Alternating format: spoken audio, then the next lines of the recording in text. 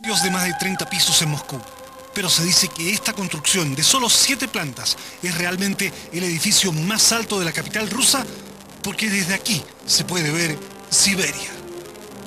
Es una broma macabra que recuerda a tantos presos políticos que luego de ser detenidos e interrogados en este cuartel central de la KGB, la policía secreta soviética, fueron llevados a una de las zonas más inhóspitas del planeta.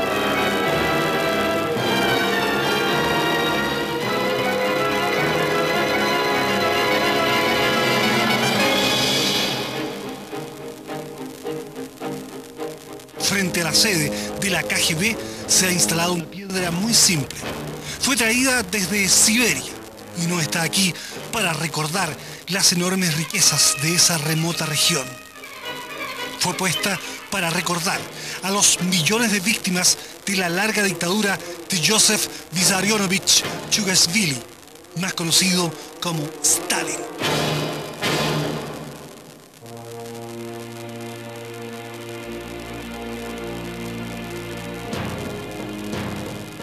Andrei Streimann visita cada cierto tiempo este lugar. Pertenece a los alemanes del Volga, grupo étnico perseguido por el gobierno soviético. Hasta agosto de 1941 existía la República Autónoma Alemana, pero aquel año los ruso-alemanes fueron forzosamente deportados a Siberia y Asia Central. Fuimos deportados a Siberia y mi padre internado en un campo de concentración. Pronto murieron mi madre y mis dos hermanos. Milagrosamente sobreviví con mi abuela alimentándonos en los basurales. Recién en 1946 volví a ver a mi padre, pero continuaron las persecuciones porque éramos de origen alemán, aunque ya ni hablábamos ese idioma. Hace 10 años fuimos finalmente rehabilitados.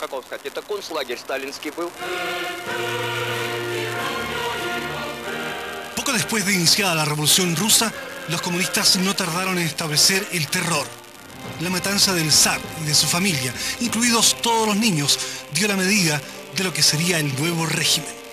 Pronto aparecieron los campos de concentración para los contrarrevolucionarios y el primero se estableció en 1927 en la isla Zolotki, en el Ártico pero en los años 30 los campos dejaron de ser prisiones rurales, simplemente inhumanas, para convertirse en un sistema de trabajo esclavizado bajo control de la policía secreta.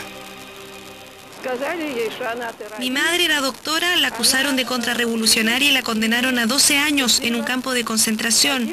Solo una vez me permitieron visitarla. Allí no había nada y todo lo hicieron los presos. Eran verdaderos esclavos. Nadie quería trabajar en un lugar donde el invierno dura 12 meses y el resto es verano, como dicen en Siberia.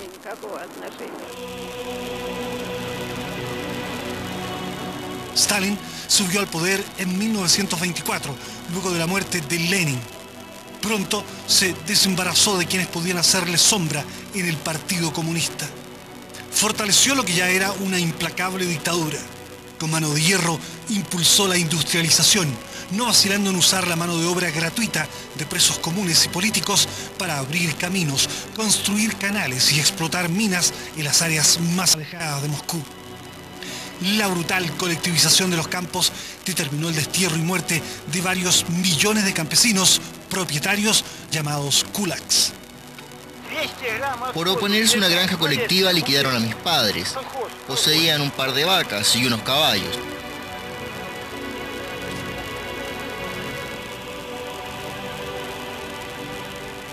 Organizaciones de derechos humanos se congregan hoy frente a la KGB para recordar a las víctimas del comunismo y repudiar la figura de Stalin.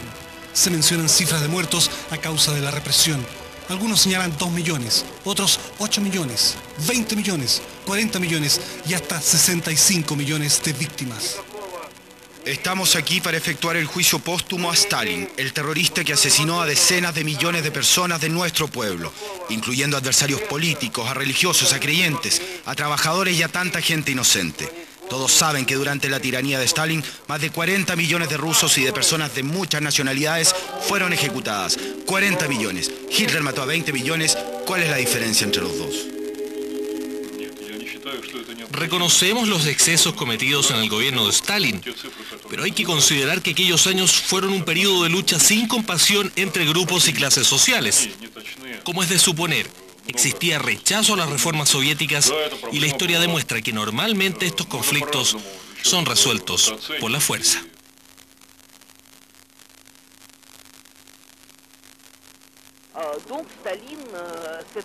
Stalin es el símbolo del estatismo y de la negación de los derechos del hombre. No se diferencia de Pol Pot, Hitler, Mao y otros dictadores del mismo tipo.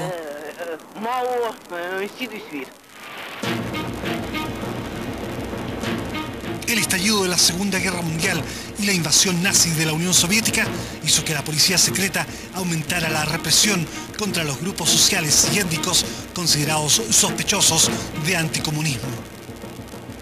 Fui acusada de actividades antisoviéticas y condenada a 20 años de trabajos forzados. Metían en el mismo saco a los espías y a los creyentes en Cristo. Todo era montado para deportar a los ucranianos occidentales y llevarlos al noreste despoblado. En las ricas tierras ucranianas se instalaban los rusos comunistas. Pavel Pautrosvich es un héroe de la Gran Guerra Patria, como llaman los rusos a la Segunda Guerra Mundial. A los 22 años se alistó en el Ejército Rojo y un año después se le ordenó infiltrarse en las líneas alemanas simulando ser un ruso anticomunista. Pasó por seis escuelas de agentes especiales del ejército alemán. En 1943, junto a otros tres rusos, todos con equipos de comunicaciones, fue lanzado en paracaídas desde un avión al interior de la Unión Soviética en un sector fronterizo con Finlandia. La contrainteligencia rusa le proporcionó material de desinformación para ser enviado a Alemania. Finalizado el conflicto, fue desmovilizado y trabajó como ingeniero en la dirección de granjas colectivas, pero tres años después fue arrestado y condenado sin juicio a 25 años de corrección política. Seis años los pasó en el Gulag de Yagaskar, junto al escritor Solzhenitsyn. La gente no moría en el campamento principal, sino en otro lugar donde llevaban a enfermos o inválidos que no podían trabajar.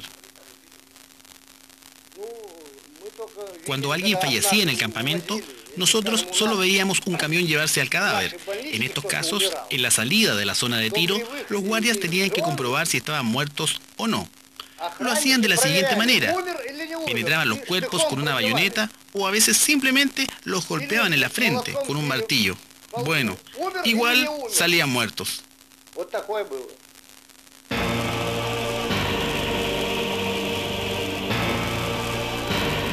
Desde estaciones como esta partían los convoyes repletos de disidentes mezclados con criminales hacia Siberia. Los juicios eran sumarios y bastaba un soplo para que cualquier ciudadano fuera enviado al trabajo forzado.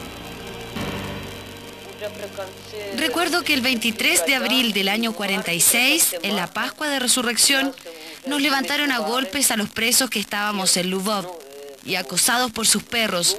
Nos llevaron corriendo a la estación y nos subieron al tren. Eran unos carros de carga de ganado y con rejas, pero con unas repisas para dormir. El viaje duró un mes hasta el puerto de Nayotka. Después por barco iríamos a Magadán.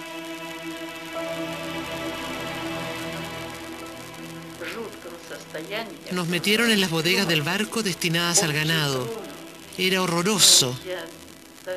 Discúlpeme, quisiera olvidar todo aquello, pero no puedo. Fue terrible. Al llegar a Magadán apenas nos manteníamos en pie. Nos bajaron y nos tiraron como sacos en los camiones que nos transportaron a un centro de distribución. Luego llegaron los compradores, como llamábamos a los jefes de los campamentos que seleccionaban para trabajar en las minas o en los bosques.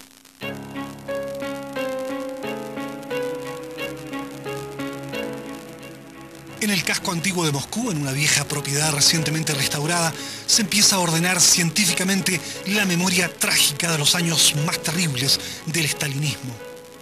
Esta es la sede de Memorial, el grupo dedicado a recopilar los antecedentes de la represión comunista. Los archivos tienen una curiosa similitud con los archivos de la Vicaría de la Solidaridad en Santiago de Chile. Las fotos de sacerdotes, campesinos, periodistas, ingenieros, hombres y mujeres barridos por la dictadura adornan las paredes. En este pequeño museo del grupo memorial ubicado en Moscú se encuentran algunos objetos que usaban los presos, los detenidos por el régimen de Stalin en Siberia y en los gulags. Era un zapato que ellos mismos fabricaban con madera y con trozo de lona y caucho. Y al final, sobre ellos solamente un número en sus tumbas, en los que tenían la fortuna de tener una tumba.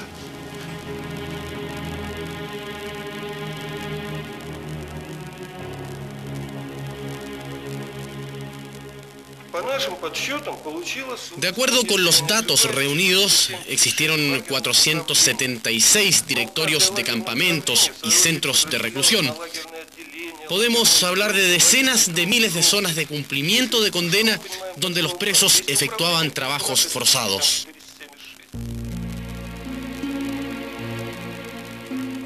Markov dirige Memorial cree que recién está comenzando la investigación para determinar el total de campos de concentración que funcionaron en Rusia y el número de víctimas de Stalin. A fines de los años 40 a los dirigentes comunistas se les ocurrió construir una vía férrea que bordearía Siberia. Por supuesto que la mano de obra considerada fueron presos de todo el país. En el año 53 la construcción fue suspendida. En medio de la tundra helada la obra quedó inconclusa y abandonadas las locomotoras. Estos lugares son famosos por 10 meses de infernal invierno y un verano con mosquitos y parásitos. Decenas de miles de presos trabajaron y murieron allí simplemente para nada. Markov señala que la mortandad alcanzó niveles dramáticos durante la guerra entre los años 1941 y 1943, cuando los presos prácticamente no recibieron alimentos. Esta foto corresponde a un campo siberiano de Magadán, región que ustedes van a visitar. Entre 1932 y 1937 existieron más de mil zonas de trabajo forzados. Estas imágenes muestran un abandonado campo de concentración donde se extraía oro.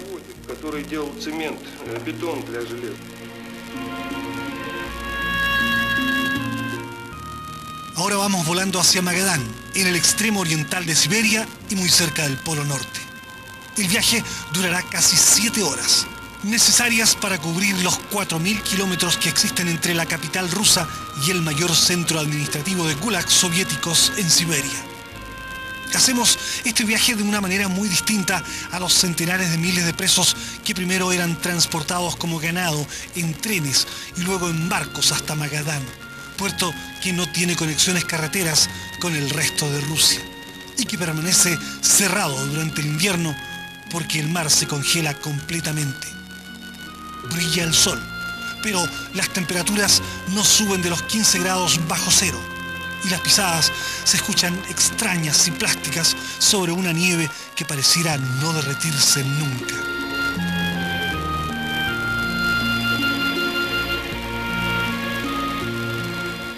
Calles mantienen sus nombres y la vieja propaganda soviética de hace 12 años no se ha remozado pero hay cambios. Una expresión de los enormes cambios políticos ocurridos en Rusia y en Siberia se puede apreciar en la principal plaza de Magadán. Aquí se levantaba un edificio del Partido Comunista de 14 pisos con una gran estatua de Lenin. Todo fue demolido y en su lugar se está levantando una enorme catedral ortodoxa de 57 metros de altura.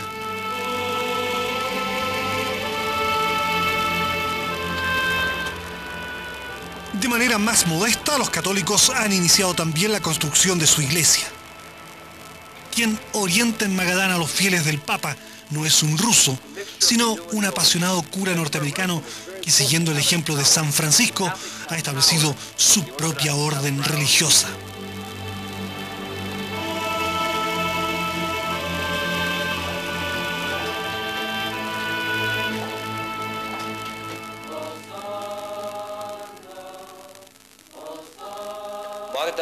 Magadán es un lugar de mártires. Probablemente más de dos millones de personas murieron aquí. Yo me siento conmovido por la vida espiritual de tantas víctimas y la esperanza de justicia que ellas mantuvieron durante la represión comunista. Eso me golpeó en el corazón y por ello decidí entregarme a esta comunidad. Stalin fundó Magadán en 1933, cuando se descubrieron grandes depósitos de oro, plata, petróleo y uranio en la cercana región del río Colima. Pocos querían trabajar voluntariamente aquí y por eso se recurrió a los prisioneros, muchos de los cuales eran católicos de Ucrania, Lituania y otros países. Los rusos llegaron a Ucrania en 1939 y pronto me arrestaron. Después me arrestaron los alemanes y más tarde, en 1946, fui arrestada de nuevo por los rusos. Después de sobrevivir seis años de guerra con bombardeos, hambruna y destrucción, pasé otros diez años en campos de concentración aquí, en Siberia. Perdí la vista por pasar tanta hambre. Después de ser afectada por la enfermedad del dengue, perdí toda mi dentadura. Trabajé bajo tierra en las minas de uranio, luego en una planta concentradora con todos esos químicos y el agua helada, y después talando bosques. Teníamos que arrastrar la madera en unos enormes trineos. Un día con mi compañera simplemente no pudimos sacar toda la carga que correspondía. Nos esposaron nos llevaron al calabozo de castigo donde hacía el mismo frío que al aire libre. ноги помороженные.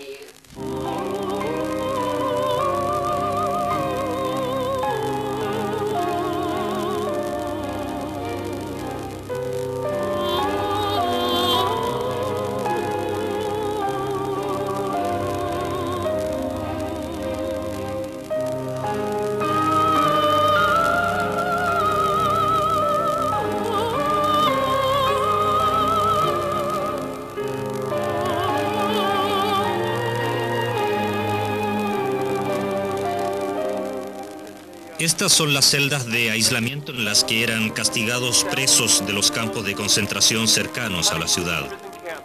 Se puede observar el piso superior que corresponde a una construcción más nueva. Pero el subterráneo fue usado para los presos entre los años 40 y 50.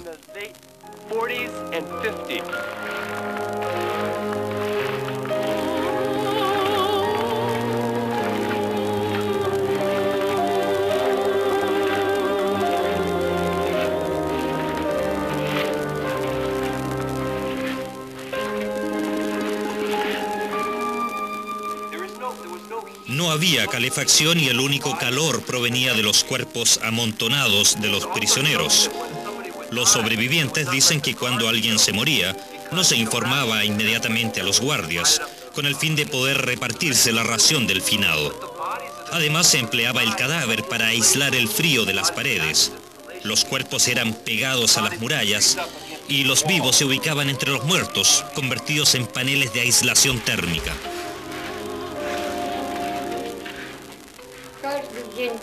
Todas las presas éramos muy delgadas. Parecíamos esqueletos, pura piel y huesos. El frío era como una tortura diaria. Casi todos los días perdíamos a alguien y eso no era ninguna noticia. A veces estábamos convencidas que el fin de nuestros sufrimientos solo llegaría con la muerte. Nadie creía poder sobrevivir esas condenas de 15 años por actividades contrarrevolucionarias. Ecos y fantasmas de un casi indescriptible sufrimiento humano. Hace exactamente 30 años, el escritor Alexander Solzhenitsyn describió en el archipiélago de Gulag los campos de torturas y trabajos forzados en medio del frío y la soledad más remota hombres y mujeres esclavizados por Stalin decidieron, sin embargo, permanecer en Siberia cuando al fin quedaron libres por allá por los años 1953, 1955. ¿Qué los mueve? ¿Qué los alienta a seguir en ese infierno helado? Luego los testimonios del horror soviético.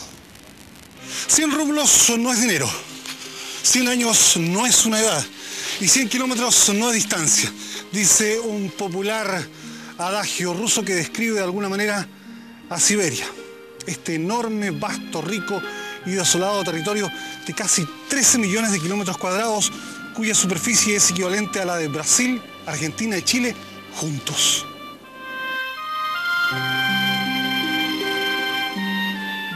Los días son brevísimos y la vida dura en Magadán, especialmente en los cuatro meses en que no puede llegar ningún barco aprovisionador. Tenías que salir, te llamaban por tu número y te rodeaban apuntando con bayonetas y los perros se tiraban encima ladrando. Nosotros llamábamos a esto el rezo, porque siempre rezábamos pensando que podía ser nuestro último día. Ordenaban con un grito, alto, agacha la cabeza, manos atrás, separa los pies. Sabíamos que un movimiento sin una orden sería considerado como un intento de fuga.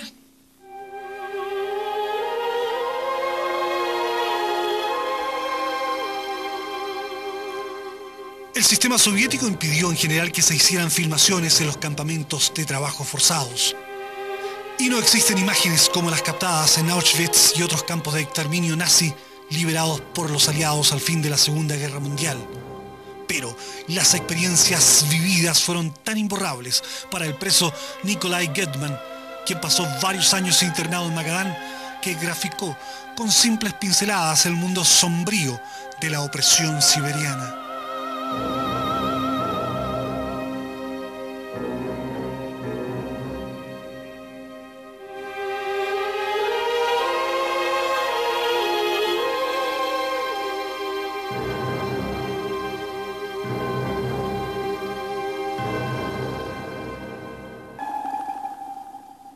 Con la muerte de Stalin comenzó el deshielo político comunista, beneficiándose cientos de miles de personas recluidas en los gulags de Siberia.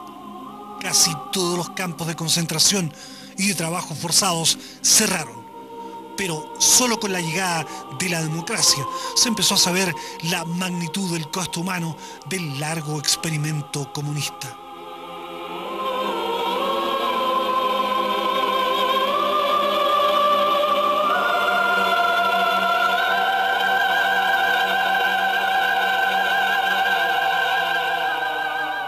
Colina de Magadán fue levantada la máscara de los sufrimientos, un monumento que recuerda a las víctimas del estalinismo, entre ellas a miles de miembros del propio Partido Comunista perseguidos por oponerse al dictador. Misas, catecismo, recuperación de viejas tradiciones como pintar huevitos de Pascua, la construcción de un templo, oraciones por las víctimas del estalinismo, el padre Michael y su rebaño de feligreses muestran en definitiva el triunfo del espíritu humano frente a la inhumanidad de un sistema político que pretendió crear una sociedad nueva y mejor, empleando aberrantes métodos represivos.